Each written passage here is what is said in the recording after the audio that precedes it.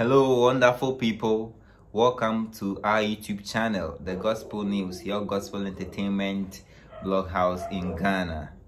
So, today, guess what?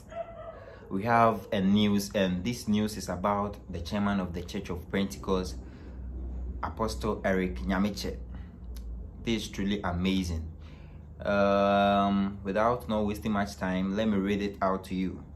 So this news is all about the chairman and it says the chairman of the Church of Pentecost, Apostle Eric Nyamekye joined members of the Church of Pentecost in Goka Zone to observe the Holy Saturday service.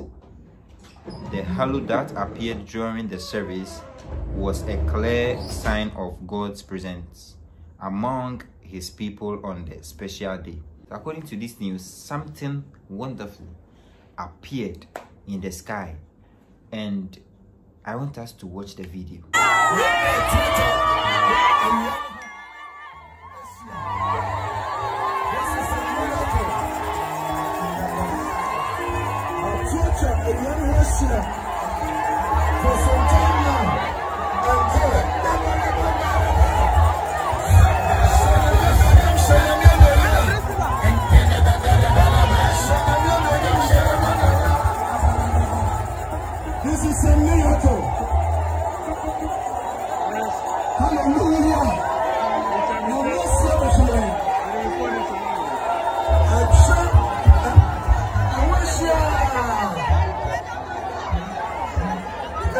èèyàn And ń kó èèyàn so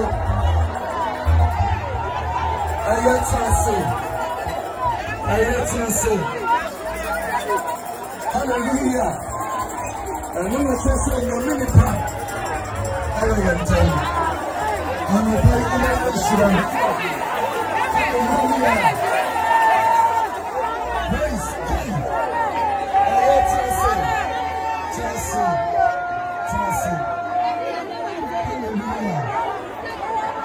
We all watched the video and this is truly amazing.